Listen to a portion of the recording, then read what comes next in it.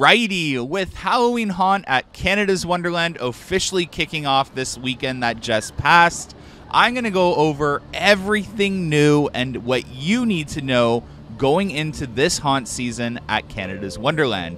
So, I'm going to get it started off with the brand new maze Demons of the Deep that has launched at Canada's Wonderland this Halloween Haunt season.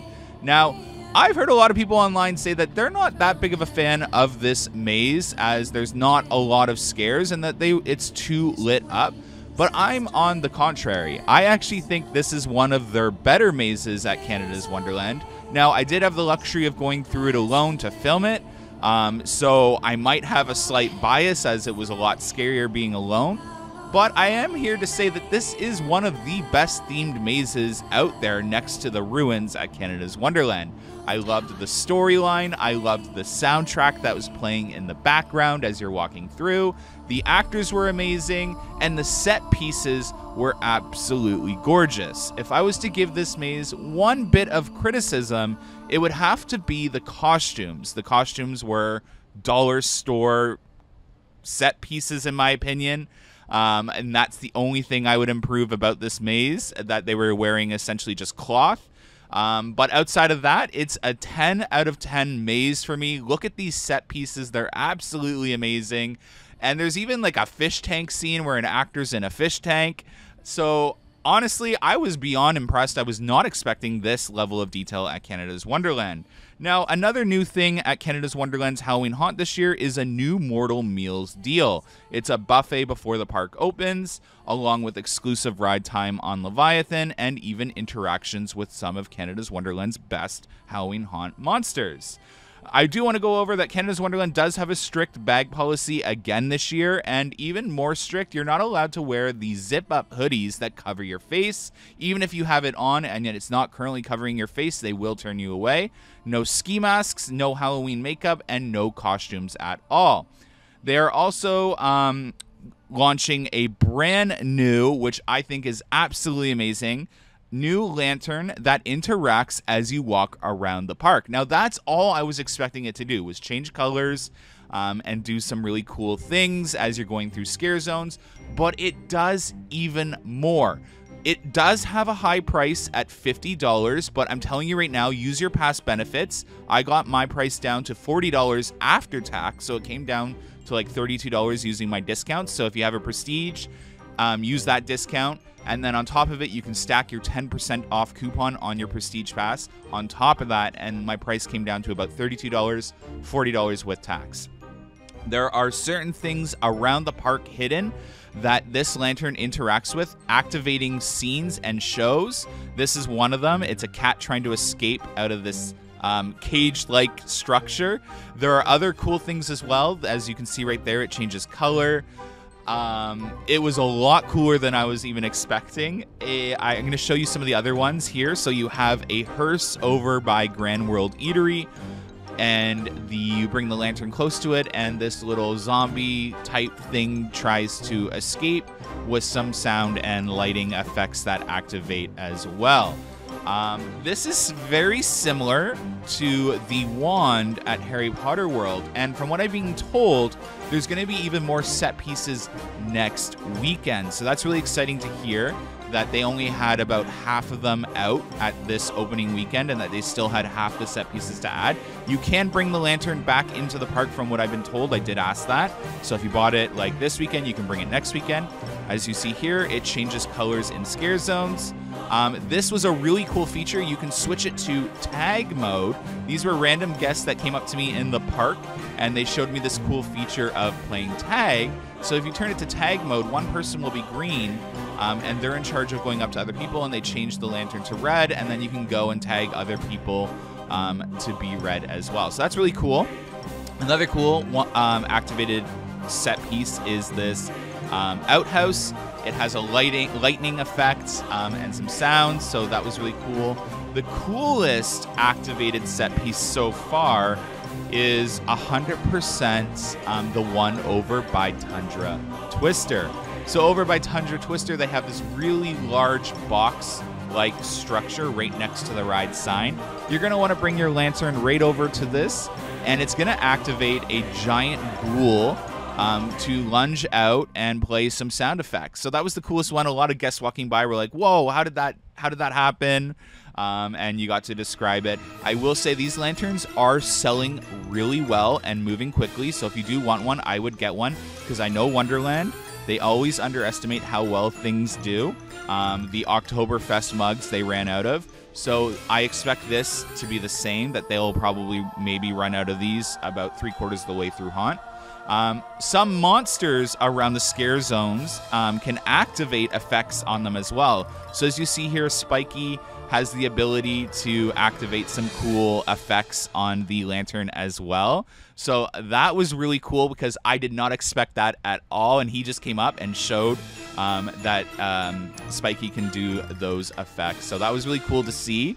Um, this is really outside of the typical Wonderland experience that you have. If you remember the Winterfest um, bubble wand thing that they had, I thought that was a complete flop. Um, it actually gave me a pretty bad impression of Wonderland's ability to do cool things like this. Uh, so I'm kind of like, wow, this was a, a step in the right direction. Uh, so I highly do recommend. This is not paid or um, I'm influenced to give a high recommendation of this, I do highly recommend these, especially learning that there's going to be more effects next weekend. Um, so I would suggest buying it, honestly. Use those discounts that I told you about. There are new um, alcohol stations around the park. Um, the new poutine, you have to try this. It's a jerk chicken witch's brew poutine. I believe that's its name. It is really good. Truthfully, that was my favorite thing on the new menu. Um, it unfortunately is not on the meal plan, but as a prestige pass holder or even a platinum one, I believe you guys should have 50% off the Witch's Poutine. So use it. Um, this is another drink stand over by BeaverTails and Minebuster. Uh, the new food items um, have launched at Canada's Wonderland's Halloween Haunt, and we have a new chef. For those of you that might not know, um, we did score Cedar Point's um, sous chef, and he is now at Canada's Wonderland as our main chef. And for those of you that have had the opportunity to go to Cedar Point, they have a really good menu. The food there is absolutely amazing. And I got to finally see his menu. I believe this is his menu um, in full force, and it is really good. There is one menu item that I wasn't a fan of, but it seemed very California inspired, and I don't like avocado, so that might be why I didn't like it. But the food is really good. I like the Jamaican uh, stew, I believe is what they call it, the Jamaican bean stew. That was really good. I was not expecting to like it, but it was very flavorful and I loved it. The desserts are really good, a step in the right direction. Um, one of my favorite things again is the jerk chicken witch's poutine um, that you can get at the mess hall underneath Yukon Striker, and I believe you can probably get it at the poutineery near Thunder Run as well. Um, the corn dog was really good as well, and it is an extremely large portion.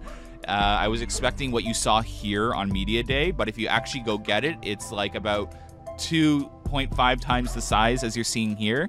Uh, so it was great to see them step in the right direction in terms of portion sizing.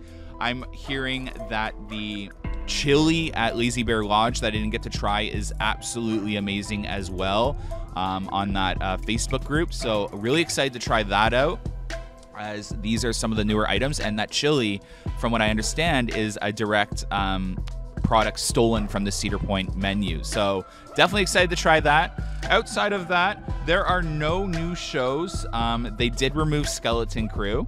So, unfortunately, Skeleton Crew is removed. Um, but obviously, the uh, other show that takes place in Medfair has a much better stage now. So, it looks a lot cooler. Uh, I have to give some honest feedback about the actors. I uh, this is positive feedback. I don't know why I'm wording it that way, but I don't know if you guys feel the same way. The actors seem way better this season with a lot more energy, and they're focusing on the scares inside the mazes. Uh, a lot less lazy actors this season in terms of the haunted houses. Um, they definitely seem to be filling up a lot more of the the scare positions in those mazes and utilizing them a lot better. And there was just a lot more energy. So that was just something I wanted to talk about because I know that last season it did seem a little sloppy in terms of scares, but this season seemed really great. And honestly, I had a really good time at Halloween Haunt. It was fun. There was that new cool interactive lantern. The mazes were cool. The new maze was so cool. Um, and the scare zones just seemed to keep getting slight touch ups um, from previous seasons. So that was really cool to see.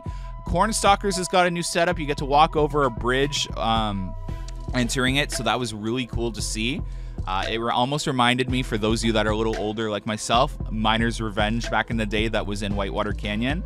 Um, it gave me a little bit of like nostalgia uh, of that. So that was really cool. Honestly, if I was to give this Halloween Haunt an overall rating this season, I would give it probably an 8 out of 10, where previously I gave it a 5 or a 6 out of 10 compared to other haunt attractions in Ontario. I would definitely say it is evident that Wonderland is trying to elevate itself um, in terms of the overall experience. So definitely a 10 out of 10. And for those of you that might be a little too scared to go to Halloween Haunt, they do have a No Boo necklace that you can buy, and this year's is really adorable. Um, unfortunately, they do not work in mazes anymore.